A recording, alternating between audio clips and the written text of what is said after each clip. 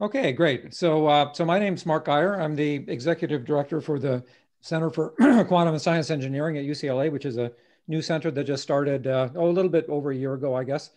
And uh, I came to UCLA to uh, take the position of directing the center uh, last August. And, uh, and so I've been here for about a year. I, before that, I spent most of my career at uh, first at Hughes Research Laboratories in Malibu, and which then became HRL Laboratories after Hughes was was bought out, and uh, and started working on the really started the first quantum computing programs at at, at HRL, all the way back in 2001, uh, with the first big DARPA program that came in that that area, the Quantum Information Science and Technology program. So I've been in this field since end of 2001, roughly. I guess I think, as I recall, the kickoff meeting for that meeting uh, for that program was delayed by 9-11. So it started right after that. And so I've been pretty much in this field since then, working mostly on semiconductor quantum dots. And uh, now that I'm here at UCLA, where I've collaborated with people on and off for many, many years, um, I'm picking up the work that I was doing at HRL, which was focused mostly on modeling and simulation of semiconductor quantum dots. So um, before we get into the lectures, I have one, one thing to um, one thing to announce, and that is uh, we're starting a student association that's uh, associated with the center. And, uh, and I'm going to let one of the organizers of the association say a few words about this, and then we'll, then we'll jump into the, uh, into the lecture. So Henry, are you there? Yep. Can you guys all hear me? Hello? Yep. Yes, we can hear you. You're Sounds good. good. Good morning, everyone. Hi, my name is Henry. I'm a fourth year physics and math of computation major here at UCLA. And Mark, myself, and a few other CQSE students have founded this uh, Quantum Computing Student Association, which is an undergraduate and graduate club, which is meant for uh, students who are interested in quantum computing to learn more and to start getting involved in some of the research and some of the stuff that we do in industry in quantum computing. Um, so there are three main kind of ideas that we want to uh, look at in our club and three things that we really want to focus on. And the first one is uh, project design and competing at hackathons and things like this. So this is actually how the club sort of got founded. Um, a group of students from CQSE got together and started discussing different project proposals. Uh, you know, what things can we do with quantum computing? What can we do in these hackathons that are offered by IBM? Uh, to you know further our understanding of quantum computing with uh, you know with some projects. And this is actually how the club got started. And so one of the things that we'll be working towards in this QC Student Association is to uh, pick up the necessary knowledge in order to uh, compete in these hackathons and to do our own individual projects. And the second thing is really for those of you who are more new to quantum computing, uh, maybe don't have that much background in quantum, uh, quantum physics and stuff like this. And that is a series of tutorials and workshops to get you guys uh, more familiar with the basics of quantum computing so that you can uh, begin to design your own projects. And I think in that sense that uh, this class will be a very good comp or this class will be uh, focusing on the hardware and a lot of different types of qubits. And the, the tutorials and the workshops will be focused a lot on software and what to expect on the software side of quantum computing, designing quantum algorithms, um, learning the mathematical foundations of quantum computing. And so these two will complement each other very nicely and give you a good foundation in quantum computing. And the final thing is to get to know more about the research uh, that's going on here at UCLA and also outside of UCLA. Um, so we'll have a series of seminars and journal clubs that, so that we can discuss uh, research with current UCLA faculty and also with among ourselves. And so throughout the throughout the year, we hope to not only teach you guys some of the basics of quantum computing if you're new, but also if you're very experienced, if you have a lot of background in quantum physics.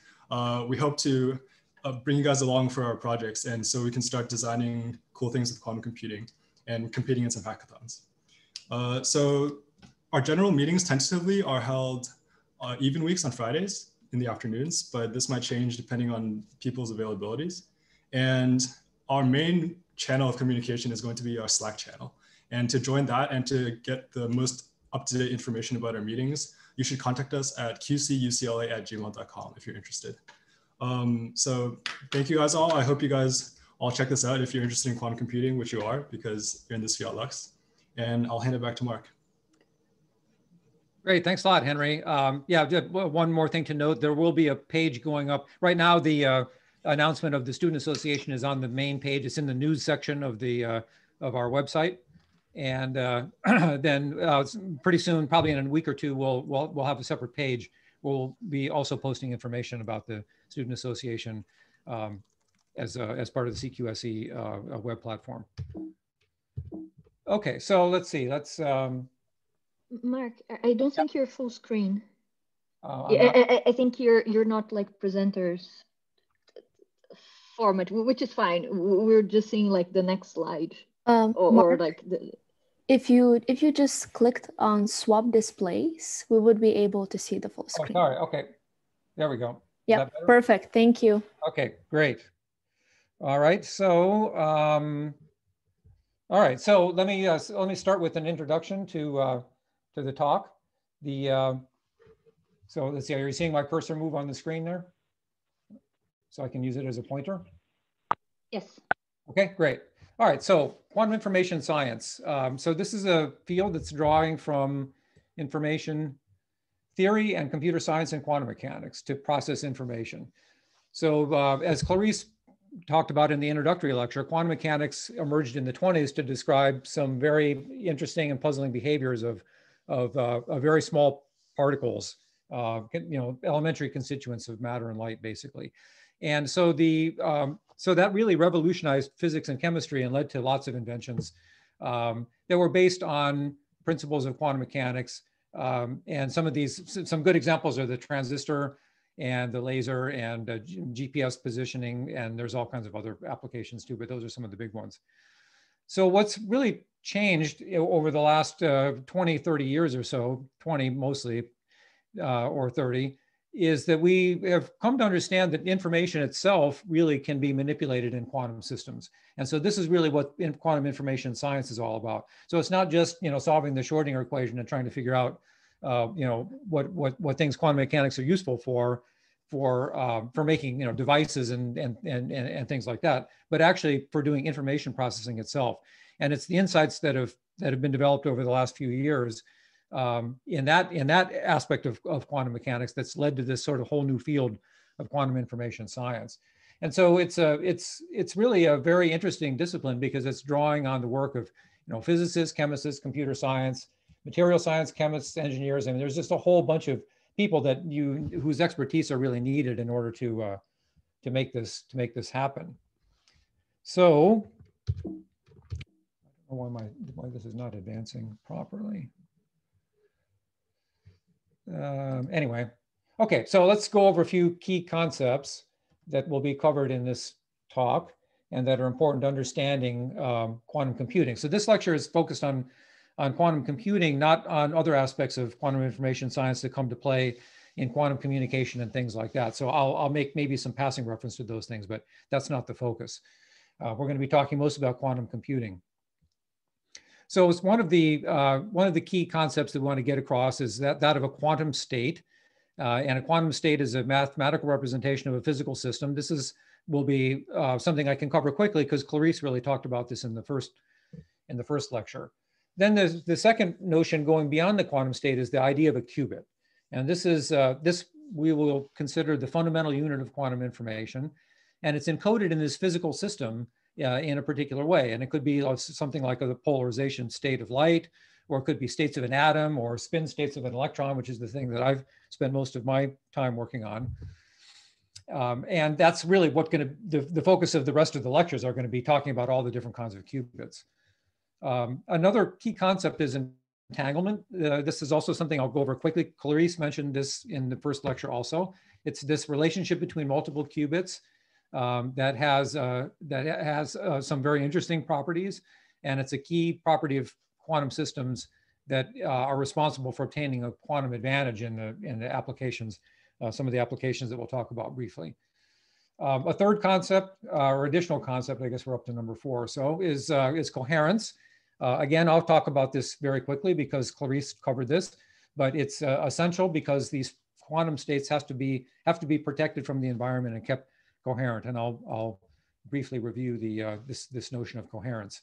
And then we'll get more into the computing, quantum computing side of things. And we'll say, okay, now that we've defined qubits as some manifestation of a physical system, well, how do we actually do computation with that? And so the first idea is that of quantum gates. Quantum gates are the equivalent of logic gates in a classical computer.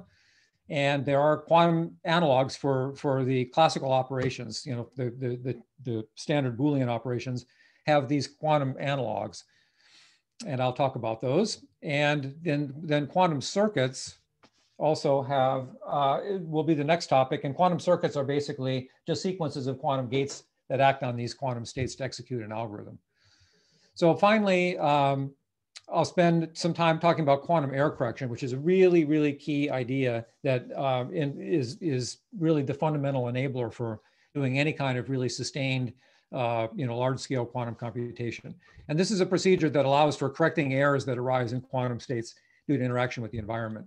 And I'll, I'll spend just a little bit of time at the end um, of the concepts talking about the idea of fault tolerance. And this is the idea that a single error in the execution of a quantum gate can't spread and corrupt data beyond the qubit that was damaged by executing a faulty gate. Otherwise, otherwise, even with quantum error correction, it would be impossible to correct all of the errors that would uh, uh, that, that, could be spread through the system. So then well, I'll finish up the lecture by talking about quantum algorithms and their applications. I'm not going to go into any detail. I'm just going to talk about some of the key algorithms that have been developed over the past few years. Um, and then I'll, I'll talk about noisy intermediate scale quantum computers, which are the sort of first quantum processors that we're starting to see being deployed now and what they're what they're good for and what we'll learn from them. And then uh, just quickly summarize with what the long-term prospects are for the for the whole field. Okay, so in quantum information science, we've already talked about this in the introduction a bit. It's uh, combining information theory and computer science with the laws of quantum mechanics to process information. And uh, as mentioned already, we've uh, had some high impact technologies um, that have arisen from our standard understanding of quantum mechanics, not quantum information science, but the new these new insights have already produced some impact technologies. It's actually implemented, impacted, I should say, uh, the GPS systems, uh, which depend on extreme precision of, atomic clocks. So the basic notion here again is quantum information science encompasses quantum computing, communication, sensing, and it's, it's spurring other advances in science and technology uh, as a general as a general field. So let's review some of the things quickly that Clarice talked about the last time. The first is the is the notion of a quantum state, and the uh, quantum state is a mathematical representation of a physical system. Uh, it could be something like the like the uh, uh the energy levels of an atom, and these quantum states are going to provide the basis for processing quantum information. So quantum states they're represented by vectors in an abstract space that's called a Hilbert space. And I won't, I, I just, I'm not going to go into any detail about Hilbert spaces because it gets quite mathematical. And I want to keep this mostly non-mathematical level, but I would like to at least get you familiar with some of these terms. So it's the Hilbert space is the space in which the uh, quantum system is, is operating in which the, and the, the space in which the information is being processed. The quantum state vector determines the probabilities of all the possible outcomes of a set of measurements. Clarice talked about this last week. Uh, quantum systems are fragile. There's uh, measurement almost always disturbs the quantum system in a way that you can't ignore. And, uh, and this fragility uh, influences the design of, of algorithms uh, in, in a, in a very profound sort of way. So I'm not, I'm going to stay away from equations mostly in this talk, but I, but I'm going to use this kind of notation over and over again. So I thought I would thought I would just, just, just show it here. So again, the, the the idea here is that these are the two quantum states. I'm I think in terms of electron spin qubits because I've been thinking about that for the last 20 years. And so I think about the spin states of an electron. So I think I think most people who took even high school chemistry and physics know that there's this uh, idea of electron spin. Electron has a spin up and a spin down state. And uh, even you know just understanding the periodic table actually um, it, it, already invokes this idea of the pairing of electron spins. You get two electrons in one state and then electrons pair up, uh, come in pairs in the higher energy levels. So, so we'll be, uh, so I'll be often using this uh, uh analogy for the two-level quantum mechanics system of an electron that has a spin up and a spin down state. And then this, uh, the, the, uh, the quantum state can be represented as a superposition of these up and down states. And these these uh, coefficients A and B, these are these these are these are the probability amplitudes that are associated with um, with that particular state. So again, this is I'm not going to say much more about that because Clarice talked about it already. Just wanted to remind you of this notion of, of, of, probability and superposition. And if you want to make a mathematical representation of the spin up and spin down, you can think of this as a very simple vector uh, or, or column column matrix, if you will, um, that has a, a one zero and zero one representing the two states and the things that operate on these states are going to be are going to be matrices. And this this uh, in this kind of representation, you can think about these uh, these matrices as really representing this Hilbert space. Okay, so uh, so what's a quantum bit then? Now that we've defined a quantum state, this is the fundamental unit of quantum quantum information. And as, as uh, already mentioned, it's encoded this in a physical system, like I was just talking about the spin. So uh, unless the, unlike a classical bit, each qubit can represent inf information as superposition. So this is just a straight carryover from, from quantum states. Nothing, no, nothing really new here, but it's just the focusing in on the idea that we're going to use these states for information processing.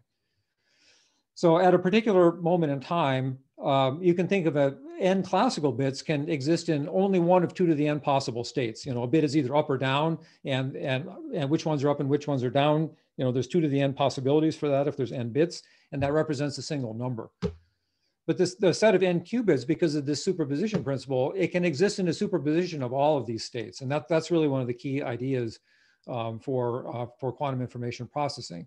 And this, this capability allows quantum information to be stored and processed in ways that are basically almost impossible to do classically. I, I, I say almost impossible because one has to be a little bit careful uh, uh, about getting too carried away with with, with, with some of these concepts. I mean, superposition is not, not, a, not a unique principle to quantum mechanics. I mean, you can have superpositions of all, of all kinds of classical things. You can have a set of coupled harmonic oscillators, for example, pendula even, to take a really simple example, which I'll actually come back to later. And, uh, and, and you can think of the modes of the, uh, of, of the pendulum as, as, as being fundamental modes, and you can have superposition of those modes. So, so superposition states exist classically all the time but they don't exist in this, this particular way where you have two to the n uh, uh, uh states possible, um, you know, uh, uh, you know, by, by, by treating these as quantum states, um, you can have n qubits representing these two to the n possible states. That's not possible for classical superpositions. You would need two to the n pendula or oscillators in order to have the same kind of superposition. So that's a bit of a subtle point, but I think it's an important one because it's easy to get carried away and think that everything we're talking about here is brand new. But the, these, some of these principles like superposition are actually are very old and apply to classical systems as well. Um, so finally, multiple qubits can be entangled where the measurement outcome is correlated with the measurement of others. Clarice talked about this last time, so I won't say too much more about that. Um, uh, so entanglement, a brief review of entanglement. Uh, this is an inseparable relationship between multiple qubits. It's a key property of quantum systems and, and generally necessary for obtaining a quantum advantage in the, uh, in the algorithms that people are, are, are, are designing. So when multiple quantum systems that are in a superposition are entangled, their measurement outcomes are correlated. So this, this entanglement causes correlations that are, that are completely uh, different than what is possible in a classical system. Um, and again, Clarice, I think, covered this already in the last lecture, so I won't spend a lot of time on this. An entangled quantum system, multiple qubits cannot be described solely by specifying an individual quantum state for each qubit. So, um, and these quantum technologies rely on entanglement in different ways. We, uh, when we have these uh, fragile entangled states, uh, when you can maintain a fragile entangled state, then you can have a computational advantage. And what I'm showing down here at the bottom is just an example of, in the notation that we are using before, example of a, of a very simple entangled state. So now we have, now we have two spins if we're thinking about this, this, this, this, this uh, qubit as an electron spin. And you can have, uh, and, and, and the, this, the state vector now has the state of both of the, both of the spins, either up or down. And an entangled state is one in which there's, uh, there, there's a, this particular relationship between um, between two states that can, the one is that one which is spin up, spin down, the other is spin down, spin up. And, uh, and this, this is actually called, a, there's a name for this, it's called a singlet state. And, uh, and this can be formed very easily actually in quantum dots. And we'll hear about that almost certainly in the lecture next week from, uh, from Jason Petta, who's is going to be talking about uh, semiconductor quantum dots. So uh, decoherence, another concept that Claire, Clarice talked about last week. I'll review this very quickly. Decoherence erodes superposition and entanglement through undesired interactions with the environment. So um, some types of qubits are inherently isolated. Others, you know, you have to be really, really careful with. Um, an example of a very well isolated qubit would be a, would be an atom. An atom, basically, unless it's interacting with light, uh, is uh, is pretty isolated from the environment. Um, on the other hand, these kind of uh, superconducting and semiconducting systems that we are, uh, a lot of people are building now, those do require carefully engineered materials to maintain coherence. And uh, you know, if you have a high, de high decoherence rate, that's that's going to severely limit the length and the complexity of computations that you can do. Um, and that's why it's important to be able to do quantum error correction, which which I'll be talking about in a few slides. So let me give you a very quick, some, I, I think deco decoherence often comes across as this sort of really mysterious thing. And, uh, but it, it's actually, it's actually really not. So if we think about, let's, let's take a simple example. Let's say we've got, this is a completely classical example, but it has a very, very simple quantum analog also. So let's say we've, let's, let, let's say we've got two pendula, one here, one here. We start these things off in the same state. We, we, we move them back some distance and we let these, these things swing, right? Then, so we can think about with the angle that these pendula are making with respect to some particular axis, like the vertical axis, for example. And we can say, what is that, what is that angle as a function of time? Well, if these pendula are identical and they're just moved, they're just swinging back and forth, then that, then that relationship, that angle, or in particular, the difference between that angle, which you can call a phase relationship, that's, that's, that's not going to change. They're always going to be the same. Now imagine that one of these guys is, is remains perfect, but this other pendulum we we go in and we're just we just changed the length of the let's say the length of the pendulum is being modulated somehow you know by by in some random fashion okay we're just changing the length of this second pendulum right so of course the frequency of that pendulum is related to that length. So as you're jiggling this the length of this pendulum around the frequency is changing ever so slightly of this guy. And so now if you think about this the phase relationship where the angle of this one is with respect to that one that's going to start to deviate right? That that phase difference is not going to be zero anymore because this guy's frequency is getting perturbed. So there's a there's an exact analog to this in an electron spin. You, you can you can think of putting having electron spin uh, creating a, uh, setting up a situation where these electron spins are precessing in a magnetic field. And there's a phase relationship between those between the the the, the these electrons spinning around that's exactly analogous to what's happening in this pendulum case. And the dephasing or decoherence of electron spins is due to the fact that the magnetic field is maybe not exactly constant, it's fluctuating ever so slightly, uh, and it's fluctuating ever so slightly for the different electron spins. And that leads to this loss of coherence or loss of phase, a fixed phase relationship between the two qubits. Okay, so um, let's move more towards quantum computing stuff. So we've got the idea of quantum gates, which I mentioned. Quantum gates are the equivalent of logic gates in a classical computer. So uh, let's think for a second about how a classical computer works. So a classical com computer is um, uh, uses basically just the on and off states of current flow through transistors, and those define the classical bits, which are zero or one, right? So, um, so for all the for all the amazing things that the classical computers can do, and all their complexity, and all the seemingly uh, sort of magical uh, powers that they have, they're really based on this very very simple idea of a transistor whose current you can just turn it on and off. So it's a three it's a three terminal device. It's got uh, uh, it's got a, a, source and a drain. The electrons flow from one to the other, and there's a gate on the top, and you put a bias on that gate. And at one bias, current flows, and the other bias it doesn't flow. And, uh, and because you can have the, these current flows have very big, uh, you know, go from off to very uh, easily measurable on values, it's very easy to threshold the value for that current and have a very, very well-defined on and off state or a zero and one state. Okay, so so that's that's the fundamental uh, uh, that's the fundamentals of, uh, of, uh, of of how classical computers operate.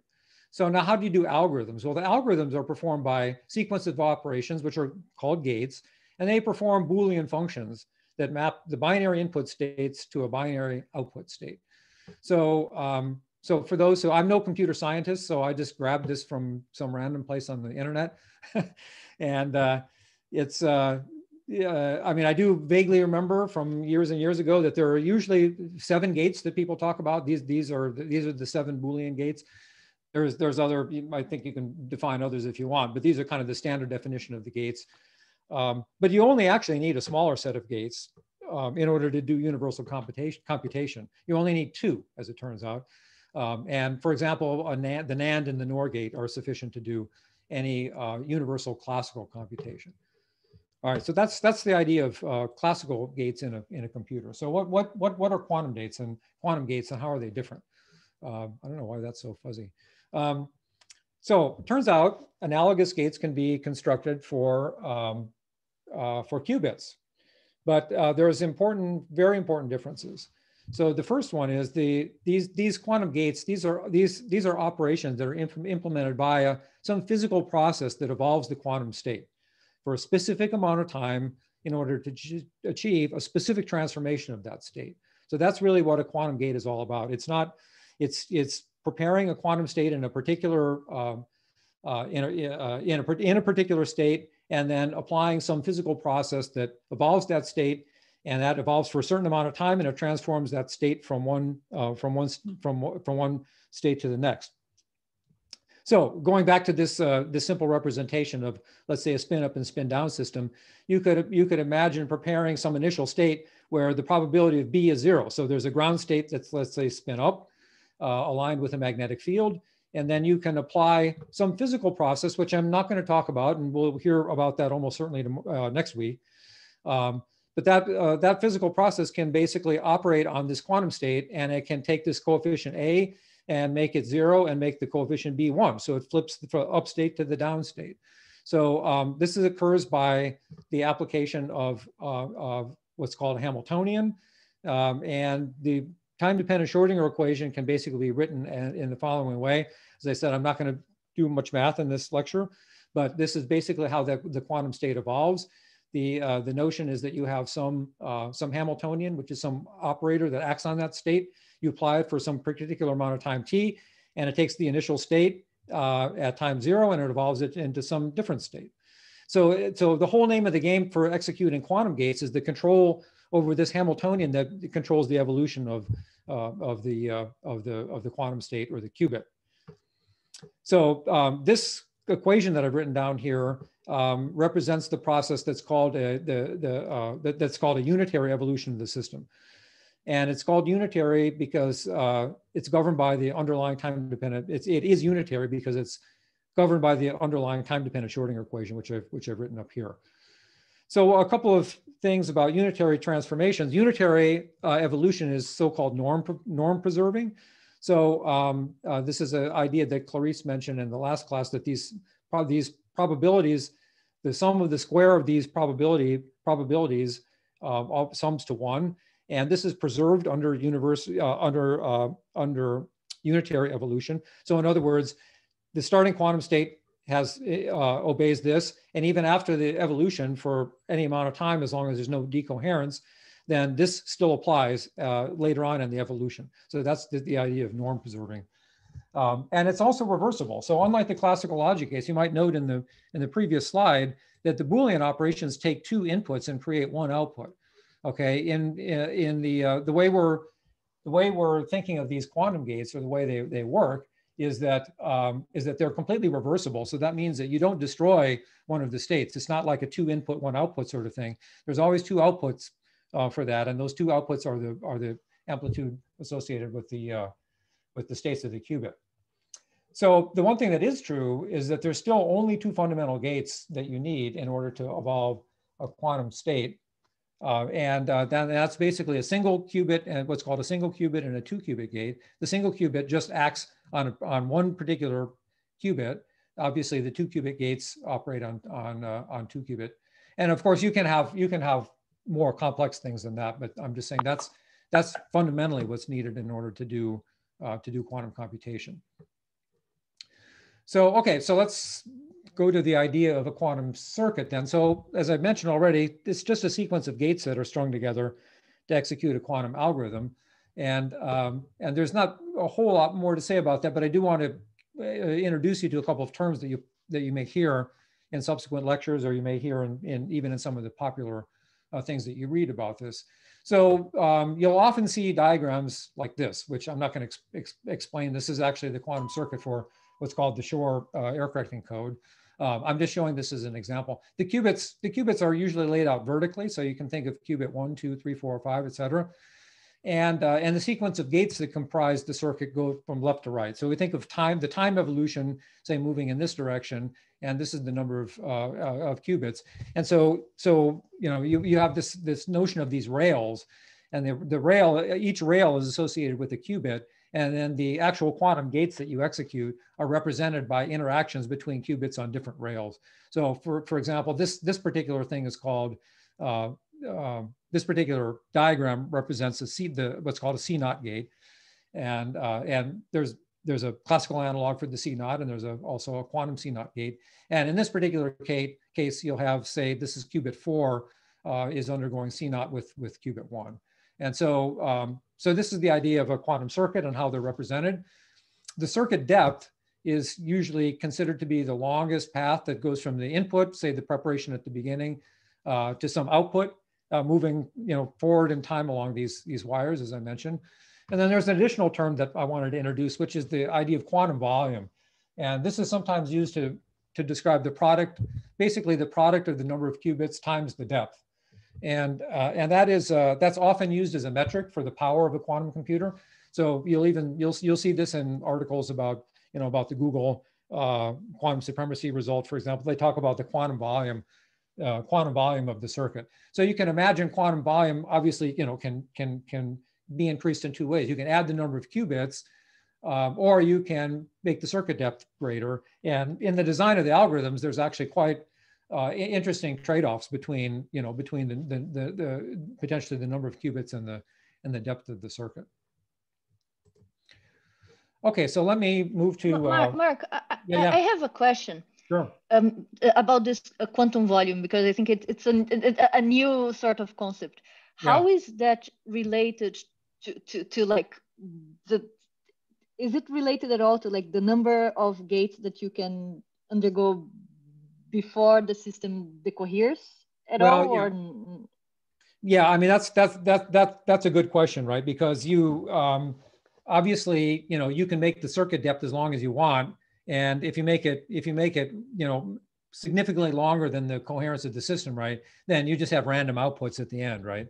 So um, so I think part of the part of the uh, subtlety here is defining what is it that you actually mean by the um, you know by the depth of the circuit. And I think that the the the, the when people talk about the quantum volume, I believe. I mean, I'm not an expert on this. I mean, this this is not really my area, but I mean, from what I've seen in the literature and on my understanding of it is it's it's defined as basically when you go to make your final measurements, basically. So regardless of what coherence you have left, uh, that's at least the definition is when you when you make your final measurements to read out, uh, you know, read out the the answer, if you will, of the quantum algorithm.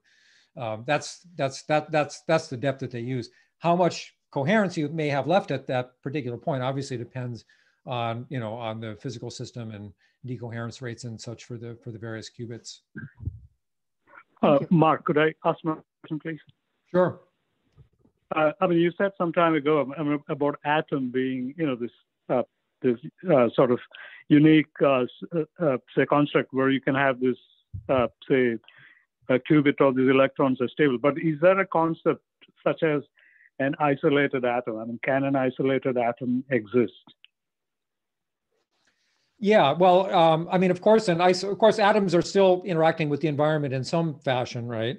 And so, right. Um, so, so the um, what so what you tend to see with the coherence times, for example, of the of, uh, of, of, atomic systems and, and, and, ions is that the coherence times are extremely long. So the um, so what you'll you know you can you can have many seconds uh, or even minutes in some cases of coherence time of atomic states or states of an ion because they interact so weakly with the environment. And that's a and that, and that's that that was why you know this is was one of considered one of the most promising systems for uh, for building a quantum computer at the beginning was because these coherence times are so long. But I mean, there's kind of a fundamental trade-off between between um, how isolated the system is and the ability to actually do quantum operations uh, and entanglement and things like that, right? The more isolated you are from the system, the harder it is to get things to couple, right? So, um, so there's so what you typically see in systems that have very long coherence times is that it's actually difficult to actually make this the the the the, the qubits interact, um, and um, and so uh, whereas you know it's easy to get qubits to interact in other systems where the coherence times are shorter just because there's they interact more easily. So there, there, there's kind of a there's kind of a trade-off between that. And you know, each of each of the systems that are being explored from a technological point of view have different you know solutions to that problem. I mean, the the one that the one that is employed for for the electron spins, for example, is that you can you can put an electron in in a, in a in a silicon lattice. So you can put in a quantum dot, or you can make that electron as bound to a say a donor state like a phosphorus donor. And uh, and electrons in electrons interact pretty weakly with the in, environment in, in, in in silicon actually.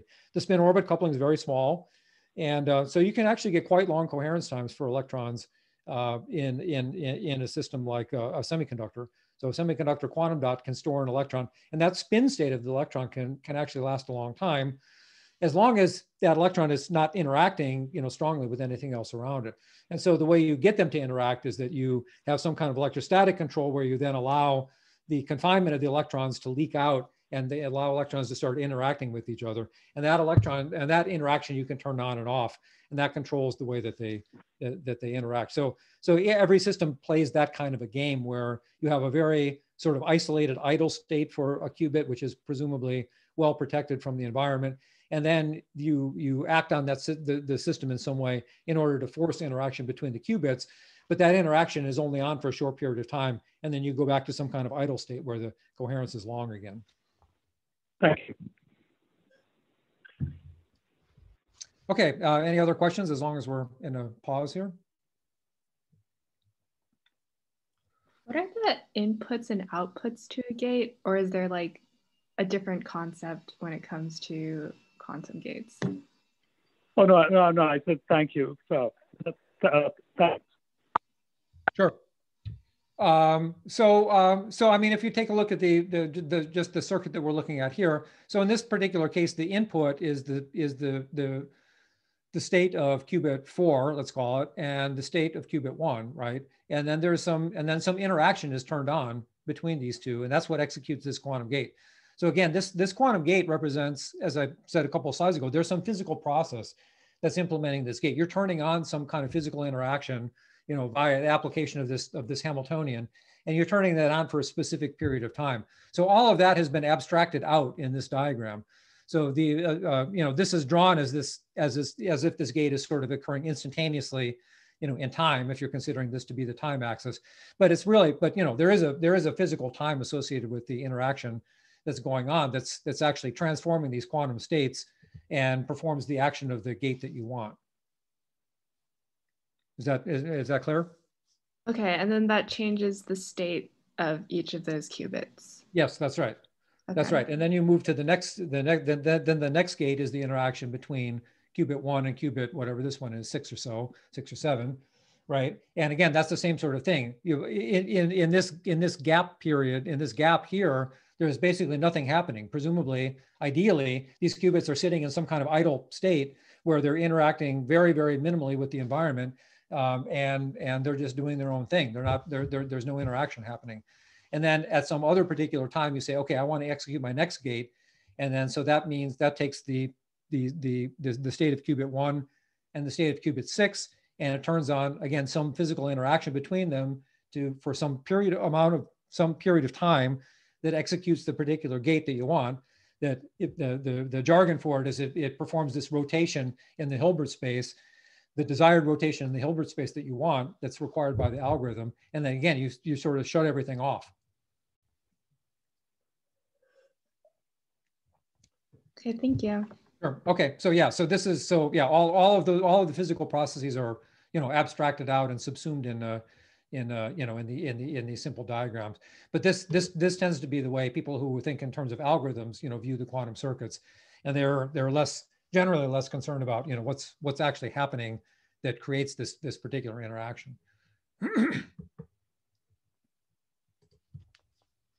okay, so let's see, we've got what about 15, a little more than 15 minutes. Okay, I think we're in good shape.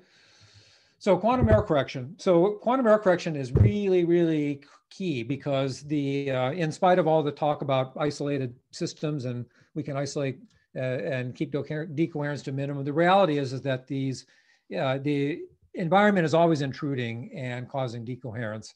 And this is something that, that has to be dealt with. So the um, quantum error correction is a procedure that allows you to correct errors that arise in quantum states due to this interaction with the environment, or equivalently, faulty, faulty control operations, right? So we're applying these gates, as we said, this is some physical process that is uh, that's that's being turned on to interact the qubits, and that and and let's say you that let's say that that Hamiltonian is supposed to be applied for you know one second, okay? Well, what if it's applied for 1.0001 seconds, right? I mean, you can't turn things on and off to arbitrary precision, right? So all of these things introduce subtle errors, just not due to the interaction with the environment, just because the control is imperfect. Okay, so there's sort of two sets of things that need to be considered, the interaction with the environment as well as these faulty control operations. So in starting to talk about quantum error correction, let's start with classical error correction and think, okay, let's think about how that works, right? So, I mean, this is typically achieved using some kind of redundancy, okay? So the simplest example is, you know, you've got some particular bit and you just, you can just copy that single bit into three identical bits, right? And then at some, at some later point, you can measure all three of those bits.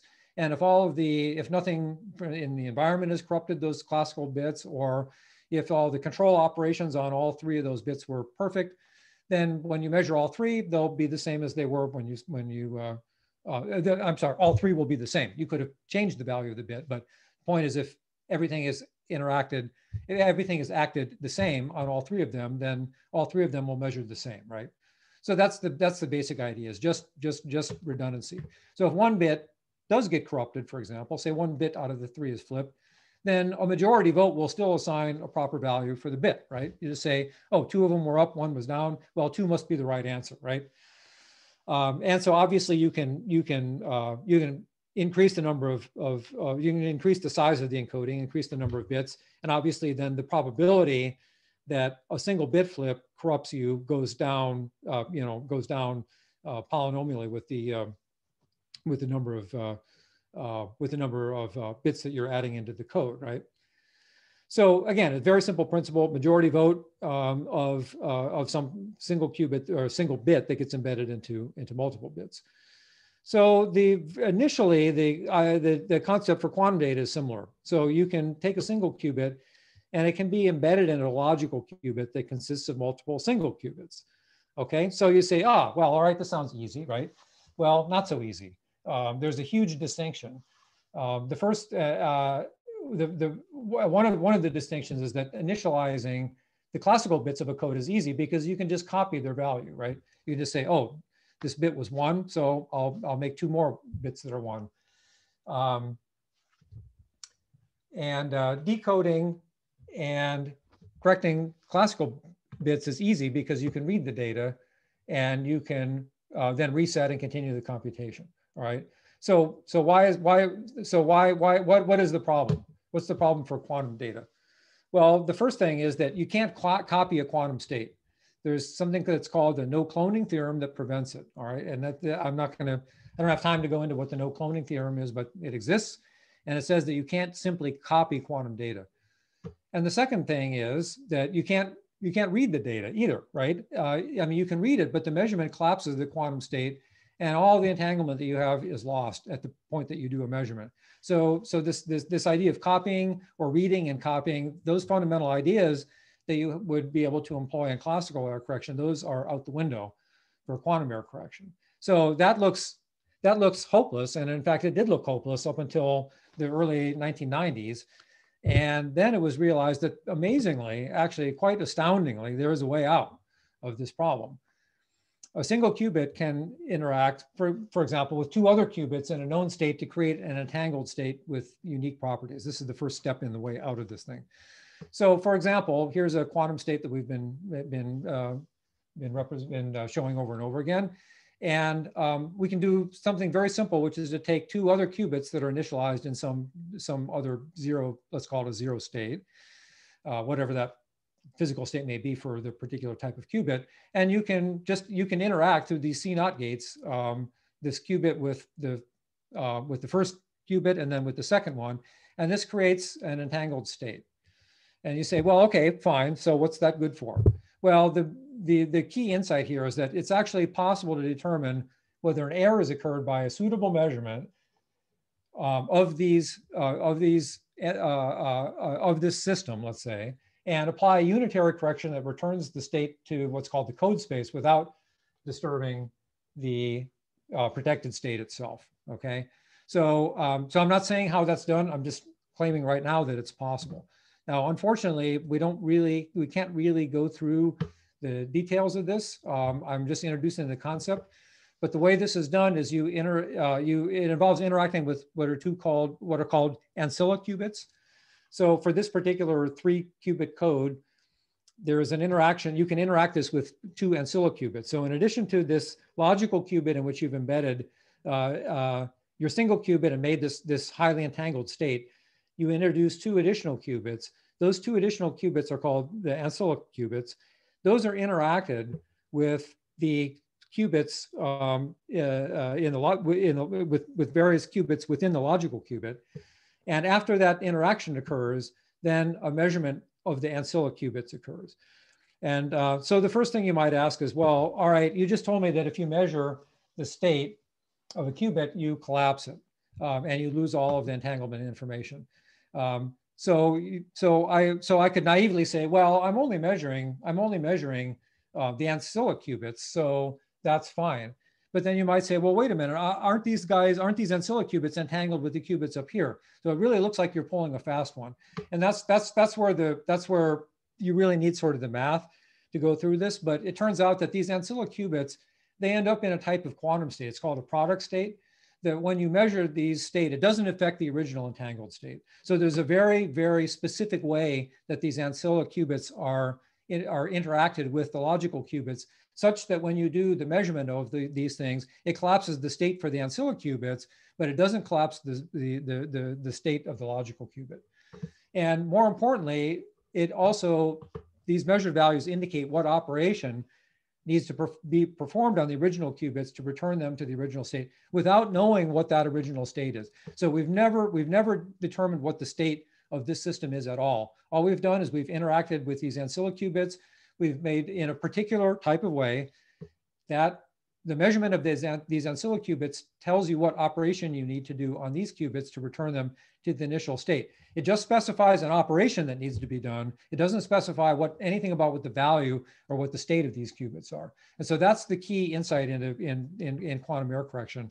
And it's really quite a remarkable thing because it's not at all clear a priori that it would be possible to design something that where you could entangle additional qubits with the system and be able to extract information from it in some way. But it turns out that that, that is in fact possible. And that is the basic idea of quantum error correction. So one, one last thing I want to say about error correction is that there's also an important concept that the, the operations that encode and decode these, these error syndromes, as they're called, um, they can induce additional errors, right? In other words, these operations um, where we're interacting the ancilla qubit with the logical qubit or the, the physical qubits within the logical qubit, these operations aren't perfect, right? They're, these can have errors, right? So the um, so that means that the error correction process itself is faulty, right? And so that again sounds like you may be in trouble, right? And you're in trouble to some extent, but there's but you can just you can just kind of think logically through this without you know really doing any math. There's a concept here that you know if the errors that are induced by encoding by the encoding and the decoding gates, they have to be small enough so that the whole procedure doesn't do any more harm than it does good, right? So in other words, the the the, the benefit that you get from the error correction has to outweigh any any detriment detrimental effects due to the fact that the operations that you're uh, employing to do the error correction actually have errors associated with them. So so there is a, so if, if all of these gates are very, very noisy, for example, then, and you have this, this relatively, uh, you know, weak encoding of only three, three qubits in a single logical qubit, you won't get any benefit from executing the quantum error correction circuit because, because there's just too much noise in the gates. However, if you really get the errors down, if, the, if these gate errors get very low, um, then you will see that there's in fact uh, a threshold value for the input uh, errors of these gates that then actually starts to yield a benefit. And so this is, this is an idea of threshold and there's mathematically defined thresholds. There's things called pseudo thresholds that basically um, where you um, actually just really do a simulation of the circuit and you ask it what value, um, you know, for the uh, for the fidelity of the of the gates do you actually get uh, an, an, advantage. But but that's that's an that's an important concept and you'll you'll hear it mentioned a lot if you if you read the the literature. So um, last idea is fault tolerance. I'm not going to talk a lot about this. This isn't a uniquely quantum mechanical thing by any means. Um, fault tolerance is just the idea that the uh, that the error on one qubit you can't allow to spread to corrupt the data to all the other qubits. Okay, so this is this is a little bit similar to what I was just talking about, but uh, but it's a little bit deeper in the sense that um, we're now talking about how errors would spread through uh, through a, through a circuit rather than just the focusing on the error correction uh, circuit itself. So it turns out that there's a very there's there's one I, there's one way of uh, of actually illustrating a concept of fault tolerance that's pretty straightforward, and that is the idea that if you have let's say two logical qubits that have three qubits associated with them, um, and yeah, and you want to do some operation on that logical qubit, which means you have to have operations on all the physical qubits, there's the notion of a transversal operation. And that means that an operation on qubit one in logical qubit one uh, is done on only the physical qubit in logical qubit two, only the second qubits interact, and, and only the third qubits interact. And so if all the gate operations can be done in this transversal fashion, um, it's, you know, if you, if you actually just stare at this diagram and think about it, you'll see that it's hard uh, that, that, uh, that any gate that corrupts a single data qubit doesn't cause the errors to propagate because you're only ever interacting qubits from uh, particular rails associated with those logical qubits. So this is the notion of fault tolerance. And it seems like this is a great thing and we're off to the races. There is one catch to this though, and that is that transversal gates can be used to perform fault tolerant, but not universal quantum computation. This is a little bit of a subtle point. Um, universal quantum computation means the whole set of gates in order to um, uh, that are required to manipulate you anywhere inside the Hilbert space. You can't do that with all transversal gates. It's, there's a theorem called the Eastin-Knill theorem that says that you require at least one non-transversal gate. Um, and and this, this, this actually is a real, this is the bane of the existence uh, of people who are trying to design, you know, already moving ahead to designing quantum architectures because the implementation of this of the so-called non-transversal gate is actually quite complicated and it adds a lot of overhead to the circuit. And again it's a, it's a you know like could spend a whole lecture just on on this one on this one concept this one topic. But um, suffice it to say that the um, building of truly fault tolerant universal quantum computer is greatly complicated by the fact that there is this one non-transversal gate and this makes uh, making a truly fault tolerant machine actually quite difficult. Okay, so last few minutes, let me talk about what's out there for algorithms and applications. Um, I think probably everybody's heard of the Shor algorithm. That was the most famous, that was the most famous algorithm. And it was the, uh, one of the first uh, that came out. There was, uh, I guess, the Deutsch Jozsa that preceded that. Um, this is used to determine the prime factors of a number. And what's really important about the Shor algorithm is that there's an exponential speed up relative to the best known classical algorithm. Um, and this has huge implications for national security because all of the RSA encryption is based on factoring prime numbers. And you know, arguably, this is probably the biggest reason why the uh, why the field has uh, has grown so rapidly, you know, over the last 20 years or so. It's because this is such an important problem. So the uh, Another algorithm is the Grover algorithm. This is the so-called unstructured database search. There's a, uh, there's a quadratic speedup for this algorithm. Um, there's many, many, many applications for unstructured database searches. Um, but the, the, the reality is that the quadratic speedup is not, is not as compelling as an exponential speedup. So it's not likely that people are going to knock themselves out to implement Grover algorithms on, on quantum computers. I may be wrong about that. There may be specific instances.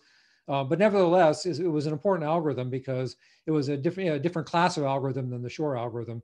And, uh, and, and understanding why the Grover, Grover algorithm has this quadratic speedup has imp impacted people's thinking about other algorithms as well. Uh, in sort of more generally speaking, there's this algorithm called the hidden subgroup algorithm, very mathematical thing. It actually subsumes the Shor algorithm, but it captures other problems besides factoring, like discrete logarithms.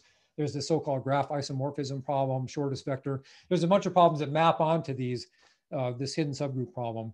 Um, and, uh, and so that's made it really the sort of most important uh, algorithm in some sense. I mean, I mean, basically most quantum algorithm, algorithms that run exponentially faster than classical algorithms, they fall into this category. So what about the, the so-called NP, the non-polynomial uh, NP complete, NP hard problems? Uh, that's actually um, that's actually still an active field of research. Um, so the um, sorry, um, and it's uh, it's uh, sorry. Let me go back go back to this. Um, the most the most of the NP complete problems are believed to be outside the class of problems that even a quantum computer can solve efficiently. But I think there's still I'm not a computer scientist, and maybe someone in the audience is, and can say more about this in the question period. But um, I believe that this is still somewhat controversial. So it's there's a sort of understanding of what class of quantum algorithms. Uh, uh, algorithm class for quantum algorithms, and it's believed that the NP problems are outside that. Um, but that may be, uh, but I, I, believe this is still, you know, this is still actively being studied. So exponential speed up, it's not the only game in town. Um, and uh, which is which is nice because you know graph isomorphism is great, but it's not going to change the world probably. Um, if you can solve the uh, hidden subgroup problem. On the other hand, um, you know, if you think about nature being inherently quantum mechanical, you, you, you know, you're automatically led to thinking, shouldn't there be some way that a quantum computer can simulate quantum mechanical problems, right? And so there's this great quote from Richard Feynman, nature isn't classical, damn it, if you want to make a simulation of nature, you better make it quantum mechanical. And by golly, it's a wonderful problem because it doesn't look so easy. And this was, uh, I looked for the date of this. Actually, I couldn't find it in a quick, quick search. Maybe somebody knows. It was in the 1980s sometime, I believe, early 1980s. And, uh, and so it turns out he was absolutely right, as he was right about many other things. Uh, never, Feynman's been dead for a while now, and maybe younger people don't know about it. He's a fascinating, fascinating guy. Should uh, go go read his books. They're they're incredibly uh, entertaining. So it turns out that he was right. There's a whole area called quantum simulation. This refers to simulating physical systems that are governed by the laws of quantum mechanics, which you know basically is everything, right? So uh, so that's pretty nice the hardest problems, um, you know, that uh, for these physical systems are tend to be the ones that involve lots of electrons that interact. Those are the really, really hard computational problems for a classical computer. And this, this encompasses tons of problems in chemistry and biology and material science. Um, the classical simulation techniques, they scale exponentially in the number of electrons, uh, just basically because the many, the many body wave function is very, very hard to represent. And this can be done quite naturally by a quantum computer. And so that's, that's why there's real, real excitement about what quantum algorithms can do for quantum simulation. So uh, last slide, basically NISQ computing era. So the NISQ computing era. So NISQ stands for Noisy Intermediate Scale Quantum. And it loosely refers to processors that do not employ quantum error correction. And, and uh, that, that's where the noisy aspect comes in and have, you know, say less than 100 qubits.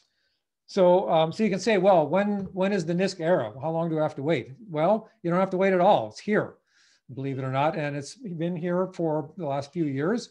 So who's making this processor? So you, um, so three systems are out there that are, um, that are producing most of the results. Uh, so Google has several computers. Their biggest quantum computers are the Sycamore and Bristlecone. Uh, with 54 and 72 qubits. Uh, this is the this is the Google. I think this is actually the Sycamore uh, picture of the Sycamore uh, machine. Uh, the, there's the IBM Q, IBM has a whole bunch of machines. The biggest ones are the Q20 Austin, and then just recently the Q53 that has 53 qubits. This is a picture of that.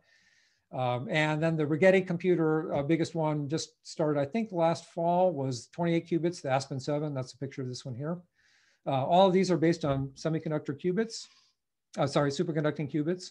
Um, I think that uh, those are where all the practical machines are right now. Um, but I think we'll see ion and semiconductor-based processors pretty soon. We've got Honeywell working on ion traps, uh, both HRL laboratories where I spent a lot of time and Intel are, fo are focusing on silicon-based qubits. And there, I should also mention there's a ton of startup companies that are filling in the niche areas in, in both software and hardware. So, I mean, what can these NISQ computers do? I mean, I, I have to be honest and say, from my point of view, they don't really do too much right now. There are some interesting quantum simulation and optimization things being tested. Um, you know, there is this quantum supremacy result that was announced last year by Google. It was for a somewhat tried problem involving random numbers, but nevertheless, it was a really, really important demonstration of what can be done. And uh, I think that, you know, in talks I've heard about this, you know, from, from the old timers in the field, I think they're, they take a, a more nuanced or sanguine view of this, which is that, you know, we're basically going to just, we're going to learn mostly from these machines what next, what the next steps are to take. So Mark, the, Mark I, I have a quick question, if you allow me. So um, if there, there was, there were no errors when you're doing the your, your quantum computation order of magnitude how many qubits would you need to, to, to simulate all the atoms in the universe? Well i think yeah i don't know what the exact number is. I mean i think it's less yeah, than 100. i don't know. It's, it's yeah, less yeah, than 100 i think, I think right? I think it's less than something like that. I mean that's the, the the hilbert space is big enough right but then the question gets to well, you know what what algorithm are you actually doing when you what does it mean to say i'm simulating all the atoms right um, certainly the, the Hilbert space is big yeah. enough. Yeah. Um, okay, so I'm out of time. I guess I'm a little bit over. Sorry about that. Um, so let me just put up my last slide and say, um, you know, I think that a fully error corrected, a, a large scale quantum computer with fully error corrected qubits, um, that's what you're going to need to solve the real problems that are intractable on classical computers, which are really good. I mean, don't forget, classical computers are really, really good. You can do amazing things on the on the on a big classical computer. So that sets the bar really high for um, you know for for for the win on the quantum computer. The time scale for this, you know, when are we going to have this kind of machine? It depends on who you ask. You know, you'll hear numbers like five years. I think that's wildly optimistic, frankly. I think 10 is probably more realistic. But you know, for for the people in this audience who are who are just you know starting out figuring out what they want to major in and you know what, what's interesting careers in that sense this is the perfect time to get involved. You don't want to get involved when it's when when everything's working already. This is the this is the this is the time to be involved. There's so much great science and engineering that's going to be needed to get us to this goal. And uh, and the fascinating thing about to me is the mix of people that you need to do this. There's you need physicists chemists chem, chemists mathematicians you know electrical engineers material science computer all, all of these different disciplines are going to have a role in, uh, in, in moving this field forward. And it's not only the different disciplines, but this is also not just an academic exercise. I mean, it's doubtful that any university is going to build a full-scale quantum computer. I mean, look at the complexity of these, you know, machines that I was showing on the previous previous page, right? I mean, this is not a one graduate student project, right? Um, so, um, so I think we're we're um, you know, there's going to be just fascinating collaborations and, and, and just really, really exciting scientific and engineering collaborations between, uh, between companies and between uh, universities and national labs. And, you know, it's, it's, it's, it's just such an exciting, it's, it's so exciting what's going to happen in the next 10 years. I mean, really, um, this is, this is the time to get involved. So, so throw your hat in the ring, take some classes on this and get excited about it because this is the future. So great. Thank you very much. Uh, one quick acknowledgement, a lot of this material that uh, was taken from this report on key concepts for future quantum information science learners. Uh, Clarice pointed this out to me. It was in the report from an NSF center uh, on, uh, on, on, what should be part of the curriculum. And so that was extremely helpful in, uh, yeah, for me in putting together the outline for this. I thought it was really well done. Can we clap?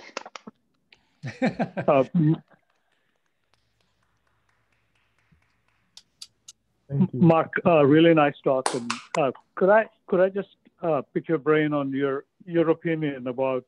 I mean, there are all these superconducting qubits, uh, the nitrogen vacancies in diamond ion traps, and all of those things. But one of the the area that is really catching up now is molecular spin quantum materials.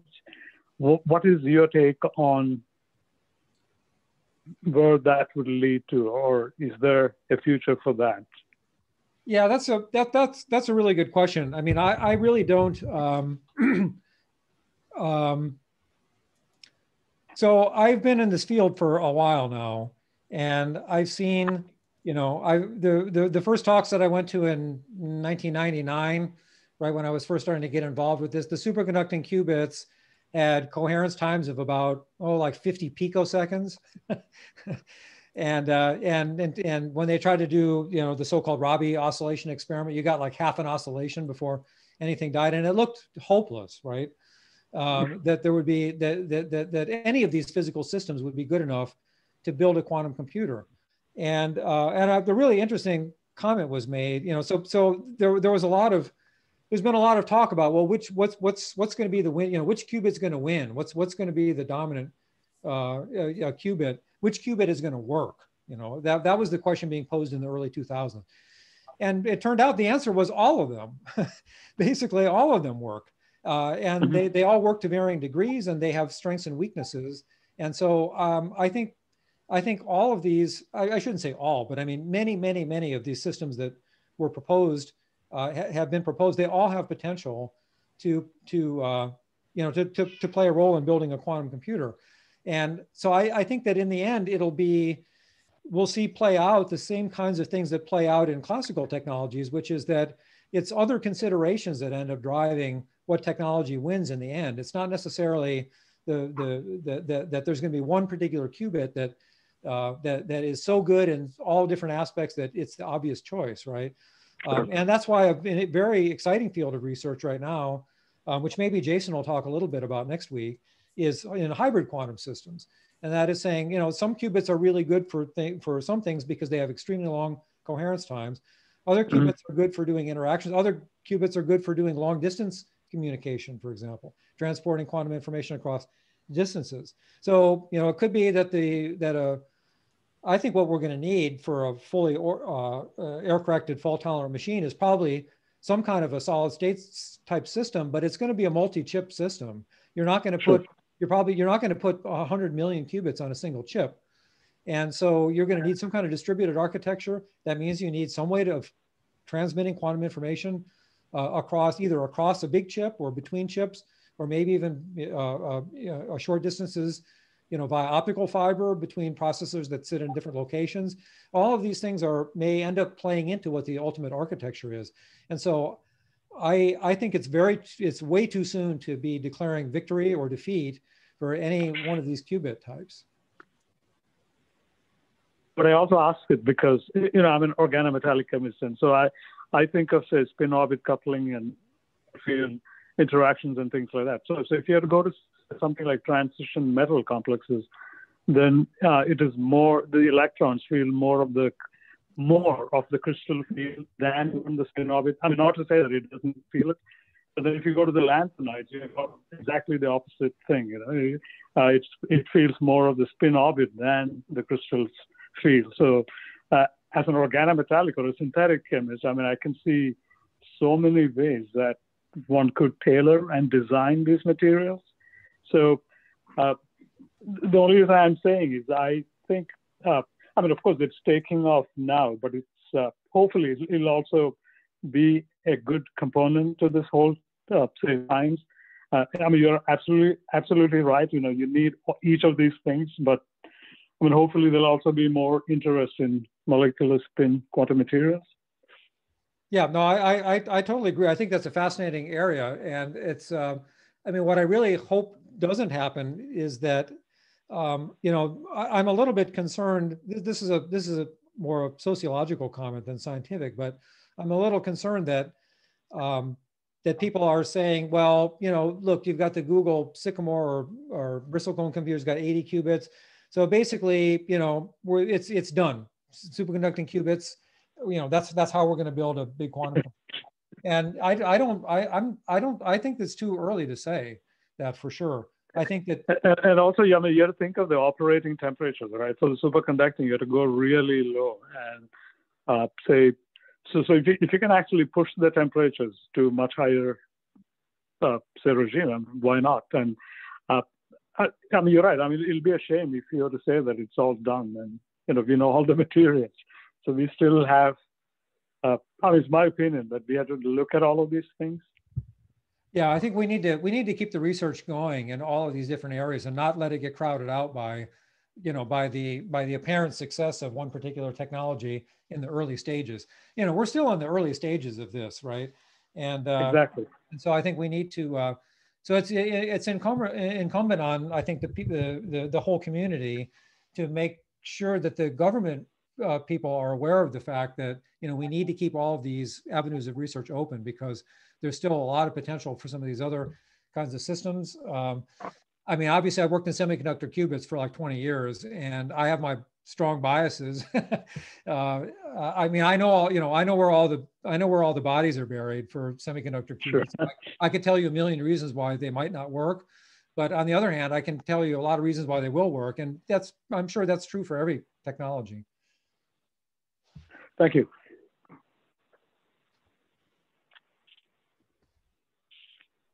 Mark, there's a question in the chat. Can I read it sure. out loud? So people always talk about how great quantum computing is for parallel computing because it can calculate multiple input states at the same time. But for a certain algorithm, there is usually one correct answer or output. So how exactly is this power of quantum computing being harvested?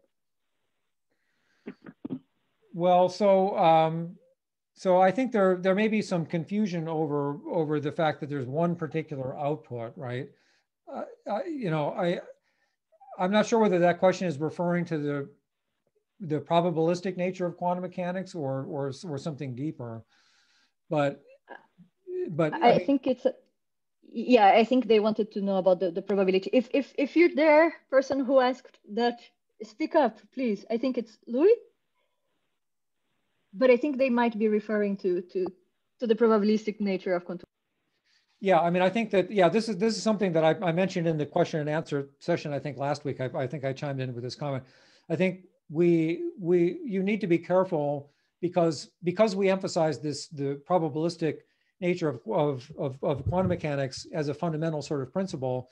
I think it, it leads to the it leads to the idea that um, that that there's more randomness than there actually is.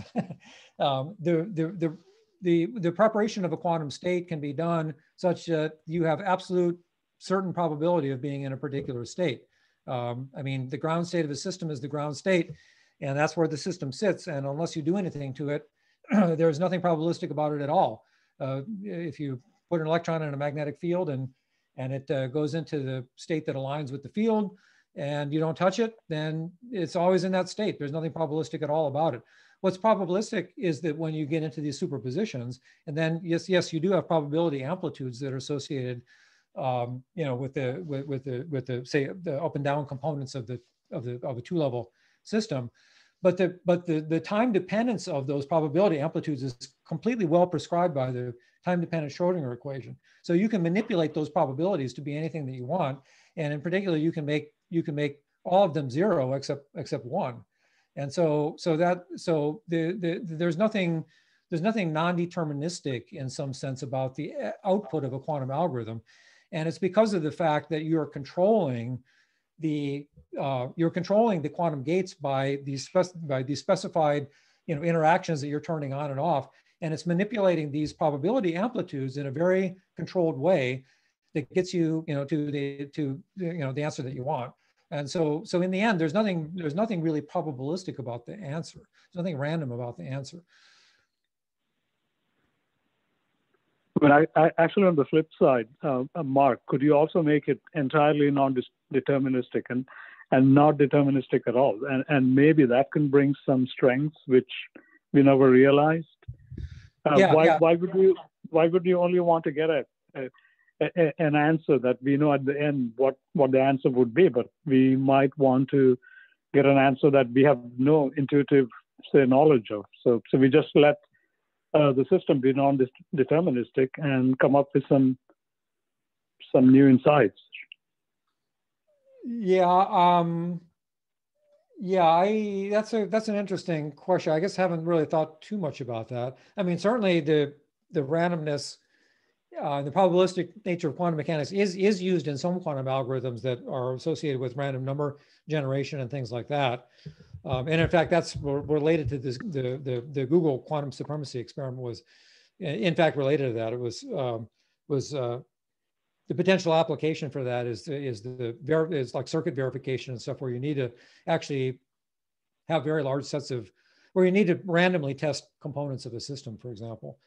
Um, in terms of the letting the system evolve and getting some answer that's completely sort of unexpected, I, I'm not sure what to think about that. I mean, usually, you know, the algorithm that you're executing is in a quantum computer, you don't necessarily know the answer. I mean, you just, uh, you're trying to find the answer, but the answer is, is well prescribed once you obtain it. That, that was the point that I was trying to make.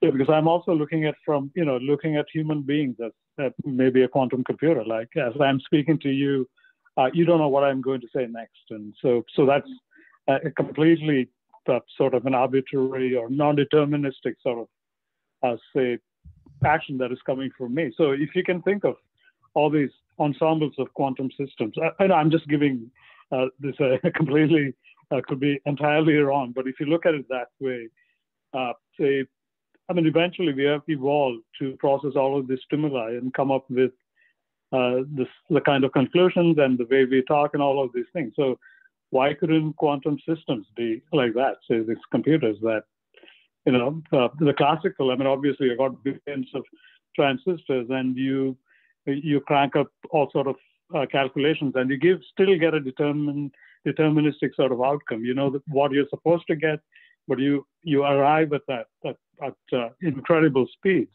But in this case, I mean, how I'm looking at the, the quantum computer is, you know, it's, it's not something like the supercomputer where we still know what we are going to get. But is there some aspect that we should also be pushing that uh, this sort of uh, uh, non-deterministic or, uh, I mean, probabilistic kind of action? Mm-hmm. Yeah, yeah, that's yeah, that that that that's interesting. I mean, I know that there are people thinking or at least speculating about that. I mean, that's that's pretty far outside of my area of, of, of expertise. So I don't really have too much to say about it. I just, I think I'll just make make a more general statement, which is that this field is still in its infancy, and you know we don't know what's going to come out of it. Um, you know, we don't know what breakthroughs we're going to see in the next 10 or 20 or 50 years, where quantum information may be even more powerful than and more, you know, have sure. more applications than what we're what we're imagining right now. Sure.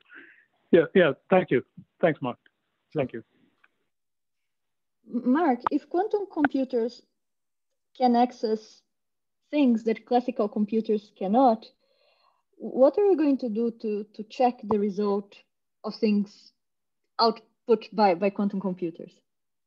Yeah, that's a really good question. And in fact, there's a whole field that's emerged now called QCVV, which is quantum computing uh, valid verification and validation. And there's a whole classical uh, field uh, in computer science that addresses that problem as well, even for, for classical machines, right? Um, and so, um, yeah, that uh, I, I, I, I'm not an expert in that area.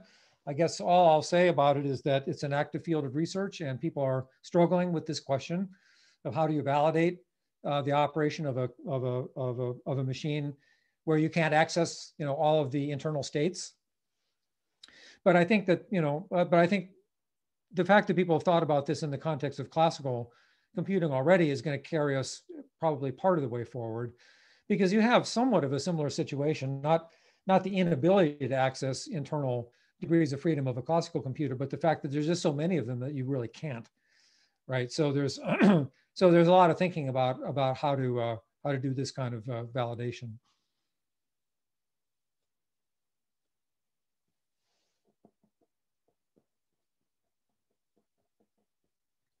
One other thing I'll add, which I did, did not put in the slides, I probably should have if I was a little more, bit more thorough, and that is uh, there there isn't there are algorithms for for doing matrix uh, operations in a in a quantum computer, and uh, and so that is something that um, uh, I think it was Seth Lloyd was the paper from I don't know maybe ten ish years ago, maybe a little bit more than that, and uh, and so it, it is possible to do linear algebra uh, with a quantum computer in some fashion.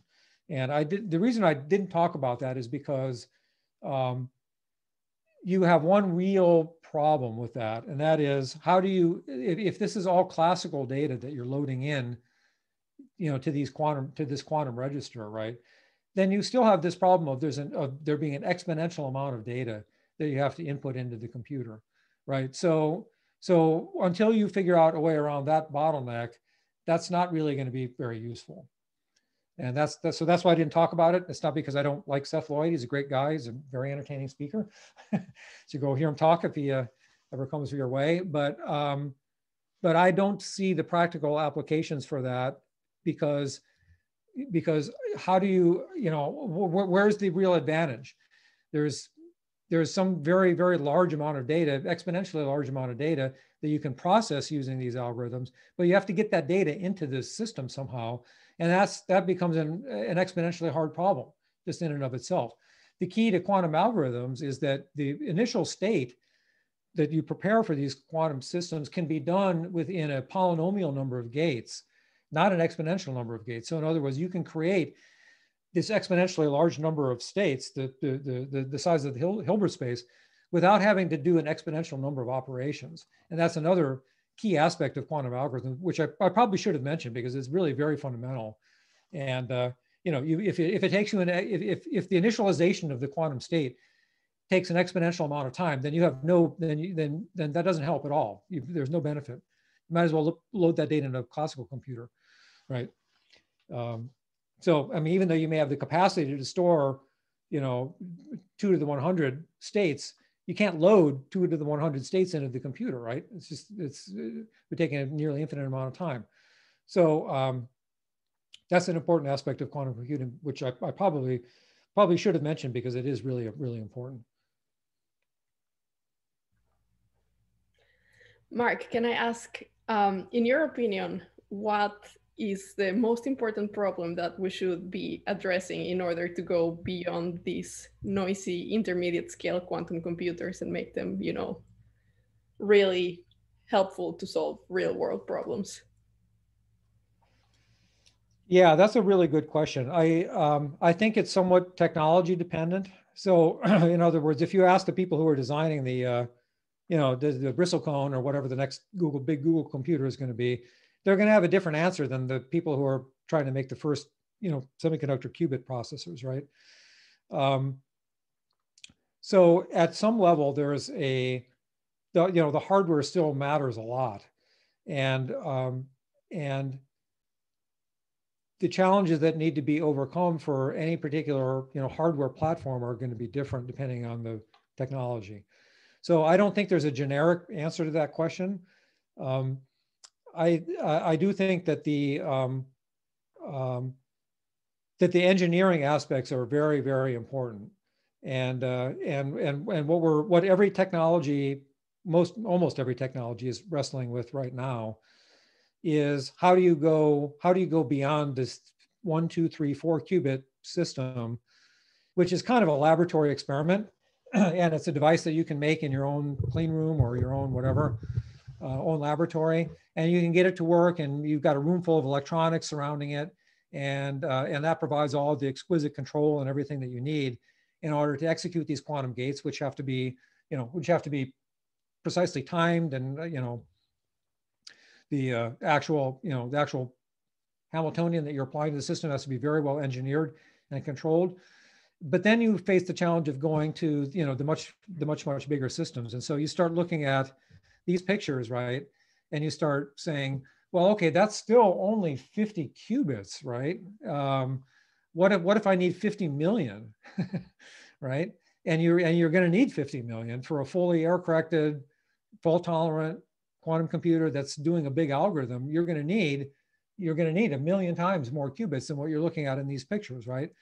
So I think if I was thinking about this problem as an uh, from an engineering standpoint, which I'm not an engineer, I'm a physicist, but I've thought a lot about some of these engineering problems. Um, I think there's a whole whole space there that needs to be thought about. And again, it's going to be technology dependent, as most you know, as almost all engineering problems are.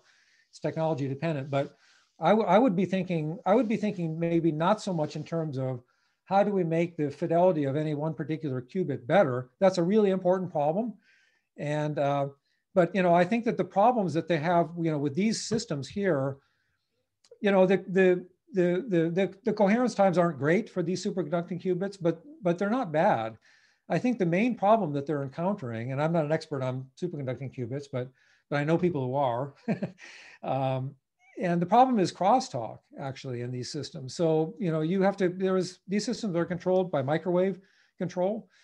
And so you're applying microwave uh, signals, you know, to these qubits. Microwaves have got a pretty long wavelength, at least relative to the size of the devices. So the microwaves, they go everywhere and they interact with basically everything else in the system. And so I think the problem of going even from, you know, even from sycamore to bristlecone, I don't know what the problems are with bristlecone. I've heard second and third hand that there's that the bristlecone is not performing all that well. Um, don't don't quote me on that. But um, I think the problem is that even going from 54 to 72, the crosstalk is getting a lot worse. And and how do you how do you engineer out that crosstalk? Is it an architecture? Is there an architecture solution, or is there some other clever solution there? So I, there's a lot of there's a lot of room on the engineering side to think about you know how you're going to get to bigger systems and I think that is that is something that really needs to be focused on, probably more so than it is right now. Um, you know, as well as the problem of, of course, we'd like to extend the coherence of uh, everybody's favorite qubit by you know one or two orders of magnitude if we could. Um, but you know that may not be the biggest that may not be, be the biggest problem. The other the other thing I would focus on that's more fundamental is uh, it's not it's kind of an engineering problem, but not necessarily and that is just you know that is just dealing with noise uh, environmental noise i mean crosstalk due to microwaves is some in some sense uh, related to that but uh, you know semiconductor qubits are bothered by the fact that you have to make you have to make structures that have dielectric layers on top of them so that you can pattern gates and things like that. And those dielectrics are they're they're noisy. They've got they've got fluctuators in them. You know, you know the charge charge moves around. You get there's you know one over f noise in semiconductor materials or dielectrics has been studied for like 50 years or more at this point. And all of those things interact uh, with the, you know, when, when you interact the semiconductor qubits, those, those, those interactions cause fluctuations in the, in the control that you're trying to, to, to, to provide. And so, you know, just, just the aspects of mitigating noise at that fundamental, at that kind of fundamental level, that's a really, really important problem. It's mostly for solid state based systems, but I think the ion systems are encountering it too as soon as they start moving into the micro machine traps. Um, you know, where they have, uh, where again they have they have semiconductor materials or dielectric materials in close proximity. They start to see, you know, noise effects creeping in that they don't have when you're just isolating these ions in the magnetic traps, for example. So, so issues of noise are really, really important. And I think issues of scale up on the engineering side are really important. Those are those are the those are the things that that that, that need a lot of focus. Thank you. Um, I think we are getting close to the end of our scheduled time, no? I don't know what the scheduled time is, so you'll have to tell me. Yeah, um, I, I believe uh, we were supposed to finish at 10.30.